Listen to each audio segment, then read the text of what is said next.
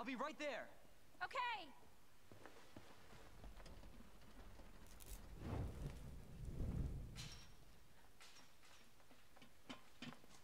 Claire.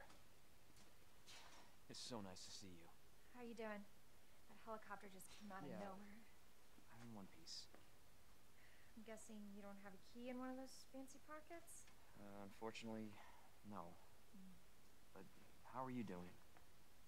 You know, just surviving. That's good. Yeah. Any luck with your brother? No, not yet. Claire, don't lose hope. I'm sure we're gonna find him.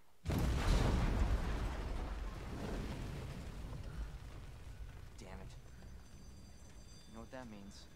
Yeah. Dinner time. Claire, I think you should go. Don't worry about me, Leon. You take care of yourself.